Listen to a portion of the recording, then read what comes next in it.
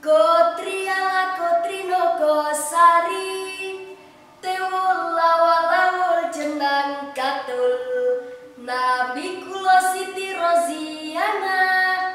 Pondok Syarifuddin kui asalnya. Derek lomba tausia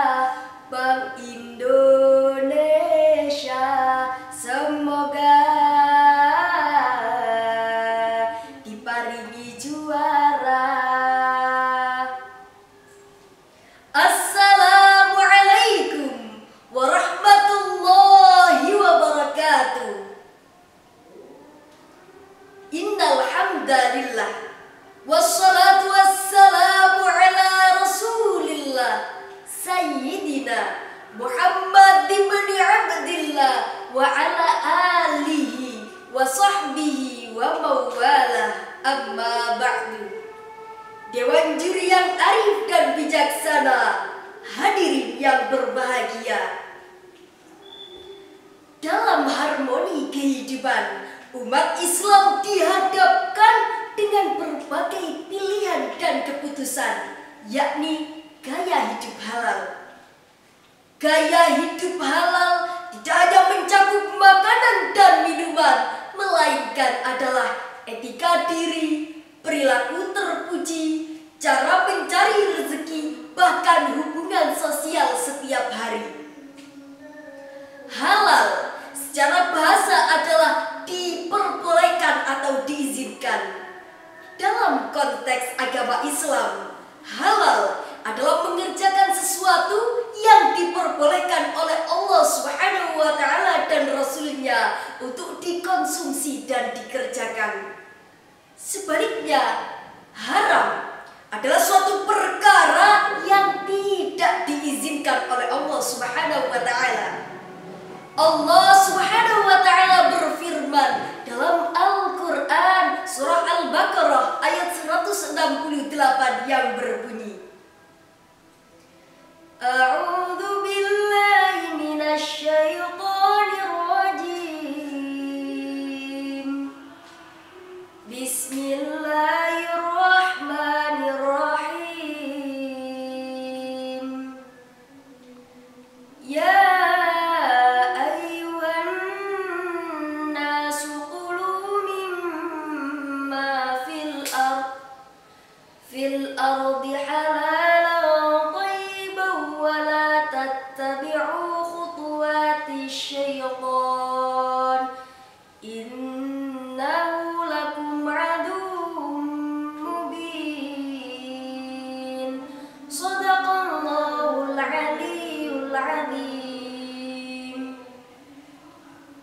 artinya wahai manusia dan makanlah dari makan makanan yang halal dan baik yang berada di bumi dan janganlah kamu menuruti langkah-langkah setan. Sesungguhnya setan adalah musuh yang terbesar bagi kamu. Hadirin yang berbahagia, ayat tersebut mengajarkan kepada kita agar mengonsumsi makanan yang halal agar tidak mengikuti langkah-langkah setan. Tidak mengikuti langkah-langkah setan yang menjerumuskan ke dalam lembah kesengsaraan. Hadirin yang berbahagia, ada beberapa cara yang bisa kita lakukan untuk hidup halal. Karena hidup halal memiliki banyak keutamaan. Yang pertama, menjaga keberkahan hidup. Keberkahan adalah kunci dari kebahagiaan.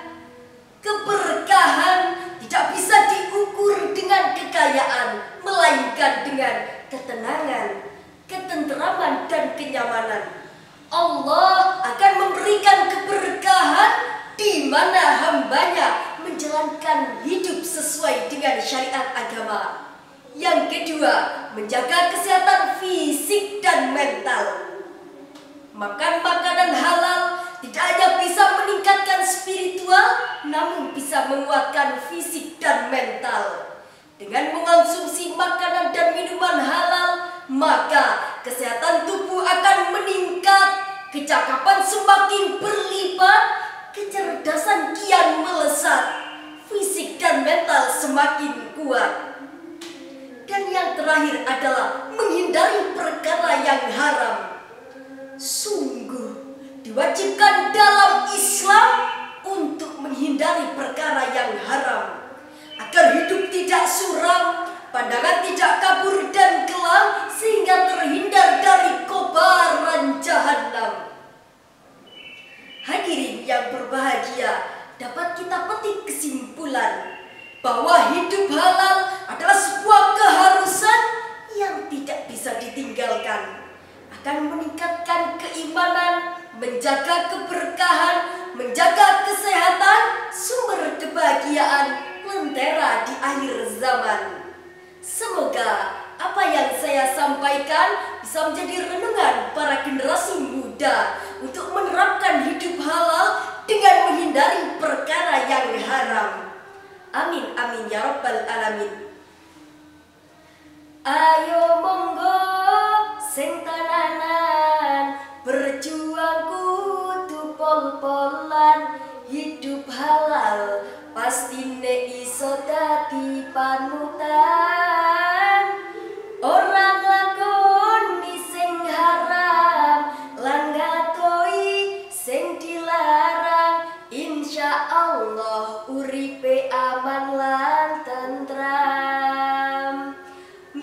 berkah Nabi suri tauladan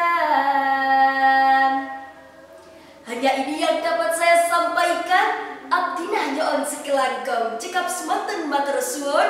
I'm sorry if I have made many mistake. Atlubu afwa minkum. Thumma assalamualaikum Warahmatullahi